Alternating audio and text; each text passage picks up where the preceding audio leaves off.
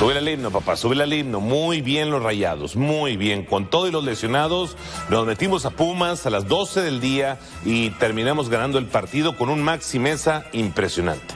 El Maxi jugó tres posiciones. Jugó de lateral derecho, de carrilero por derecha y jugó también de extremo derecho. Estos razas son los lesionados del Monterrey hasta ahorita. Estos son los jugadores. No es, este no es el roster completo. No, no, no. Nada más son los lesionados. Guzmán, Gutiérrez, Moreno, Grijalva, Medina, Rojas, Canales, Tecatito, Erika Aguirre, Cortizo, El Ponchito, Funes Mori, Berterame y Aguirre son los 14 lesionados que llevamos ahorita. Ahora, de esos 14, ¿quiénes están lesionados este lunes? Hoy amanecimos con Erika Aguirre lesionado, Joao Rojas, Germán Berterame, Sergio Canales, Rodrigo Aguirre, siguiente. Más lesionados en este lunes, al siguiente. Cortizo, Edson Gutiérrez, el Tecatito y Estefan. Párame el gráfico ahí, no me lo cambies. El tema de Cortizo, quiero ser muy preciso. Eh, en, el, en el hombro, en la parte de la clavícula, tenemos tres ligamentos. Tres ligamentos. Entonces, uno de esos ligamentos es el que se lesionó eh, Jordi Cortizo ayer.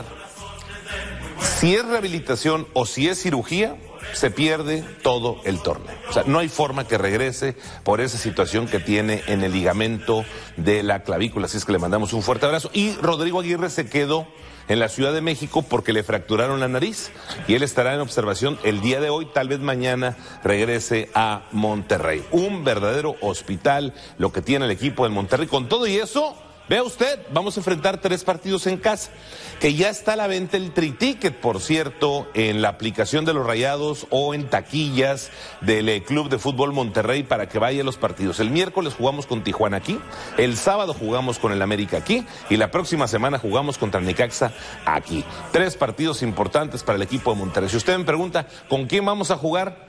No sé. Tenemos a toda la gente en el hospital. ¿Eh? ¿A quién metemos?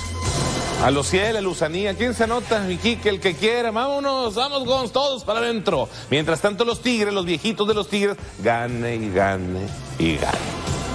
Pues no que estaban viejitos, no dijo aquel.